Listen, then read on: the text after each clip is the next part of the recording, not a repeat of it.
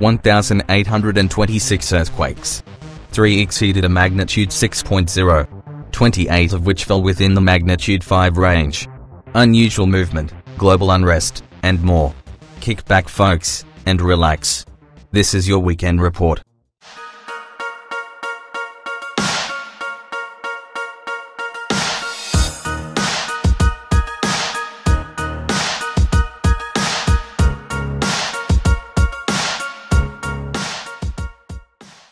Hey folks.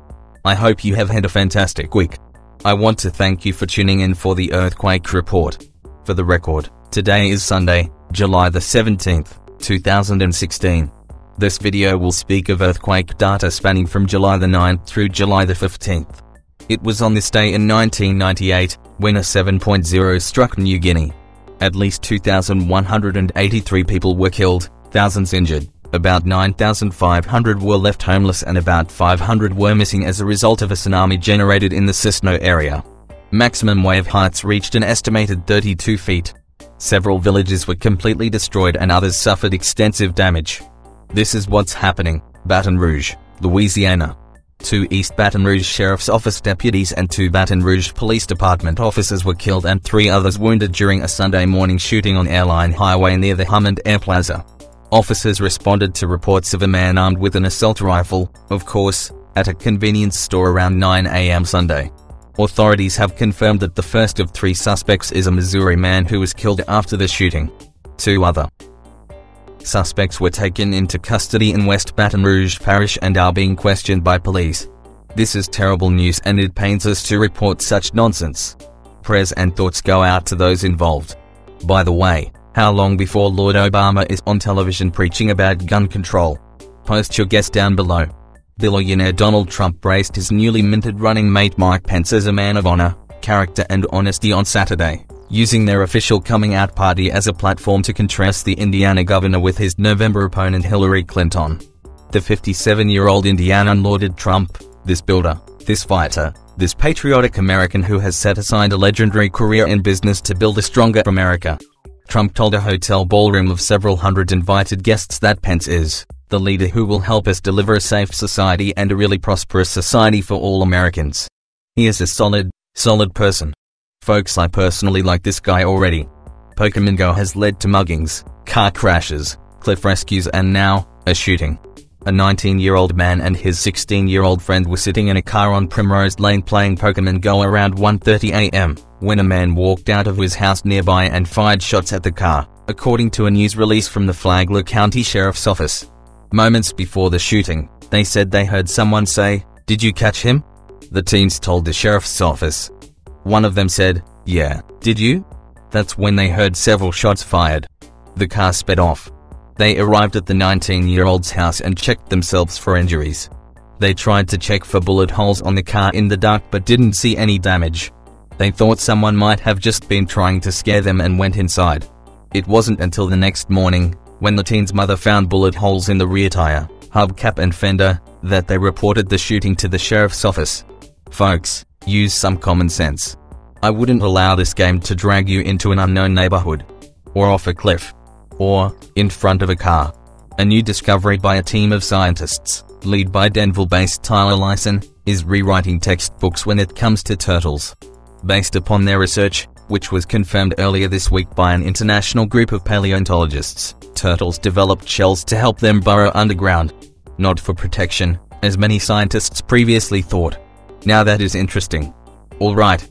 Earthquake report time. Here we go. As mentioned, we finished last week off with 1,826 earthquakes. This, along with today's and yesterday's quakes brings our monthly total to 4,500. For historical reference, a year ago today, we clocked in 324 earthquakes. The strongest to strike the planet then was a 5.8 that struck Fiji. Well folks, our earthquake watch proved useful as immediately following its issuance, we experienced earthquakes that exceeded a magnitude 5. 3 in totally actually.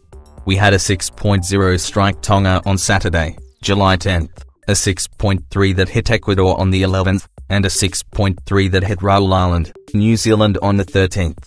The Ecuadorian earthquake, the most impactful of the three, resulted in one being injured. Blackouts were reported in several area cities, and landslides were reported on mountainous roads. According to the Geophysical Institute, there have been 2,134 aftershocks since the April 16 earthquake. The strongest aftershocks came in May and was of magnitude 6.8. As previously mentioned, we had 28 magnitude 5 strike. These earthquakes were centered mostly along the Ring of Fire. The most notable of these include a 5.8 that struck Ecuador on July the 11th, a series of quakes, 8 in total, that struck New Zealand. These include a 5.4, 5.1, and several magnitude 5.0s. Finally, we experienced a 5.0 that struck Vanuatu on Saturday, July the 10th. It was this earthquake that sparked our need to issue the earthquake watch. We have registered 96 earthquakes that fell within the magnitude 4 range. This was a 14% increase over the previous week. The most noteworthy earthquakes in this scale include a series of quakes that hit Vanuatu, these being a 4.9, 4.8, 4.6, and a 4.4. Greece experienced a 4.4 on Thursday, July the 14th, and Oklahoma made the list, with a 4.4 that struck Fairview on Saturday, July the 10th. The remaining earthquakes struck, for the most part, locations here in the States. We'll start with Hawaii, which registered 68, all of which were minor, with the exception of a 3.4 that struck Honolulu on Saturday, the 10th. Swarm activity was limited to this area, which clocked in 28 earthquakes last week, and the volcano, which experienced 27. Alaska clocked in 597 earthquakes. This breaks down to nearly 85 per day. The strongest to strike was a 4.9 in Shishmaref. In the news, one by one, people overturned massive, white, heavy-duty bags at the port of Anchorage Saturday afternoon, spilling out their contents a hodgepodge of debris that had found its way into the ocean, eventually landing on Alaska's remote coastlines. There were shoes alongside buoys and styrofoam. There was a collection of blue aluminum water bottles, apparently dumped into the ocean in a container spill, as well as metal containers marked with Japanese writing, likely debris from the deadly 2011 tsunami there. In fact, Gulf of Alaska keeper workers have found highway markers with Japanese writing and heavy, dense plastic stakes used in Japan as property markers. Washington experienced a 73% increase in seismic activity when compared to the previous week. 41 were registered in total. The most intense being only a 2.1 that hit Entiat. The average magnitude for all earthquakes to strike Washington was a 1.1. Oregon's earthquake activity remains normal. Only 8 were experienced. The strongest registered was a 2.2 in Lakeview. California clocked in 668. This breaks down to roughly 95 per day. The most powerful experienced over the past week in the sunny state was a 3.2 in Taft. Swarm activity was experienced in the usual locations. This includes Anza, which registered 51, Cobb with 34, and the Mammoth Lakes area with 62. Nevada clocked in 156. This was a 21% decrease over earthquake activity from the previous week. The strongest experienced was only a 2.1 that hit Pahrump. Swarm activity was also centered around the usual locations. This includes Beatty with 31 and Hawthorne with 50. Idaho registered 6 all week. The most intense to strike was a 2.0 in Challis. In the news here, southeastern Idaho officials have found a second bat to test positive for rabies this week. According to Southeastern Idaho Public Health, a bat in Bannock County was found to have the disease, marking the second rabid bat in the area this week and the fourth in the state this year. These are the first bats to test positive for rabies in southeast Idaho since 2014. Montana experienced 27. The most intense registered was a 2.3 in in Butte. Wyoming clocked in 12. This was a 42% increase when compared to the previous week. The strongest experienced was a 1.9 that hit the Old Faithful Geeses. Utah registered 9. The strongest reported was a 1.8 in Panguitch. Health officials with the county and state closed Utah Lake on Friday due to a toxic algal bloom that covers 90% of the lake's surface and subsurface. But before the official closure, the public was still able to access the lake to fish, swim and recreate, exposing themselves to dangerous toxins. According to the Utah County Health Department, at least eight people have reported illnesses due to exposure to the toxic lake water since July 10. Symptoms related include diarrhea and vomiting. One mother even reported that her son woke up with a rash covering 80% of his body after swimming in the lake. That's pretty wild.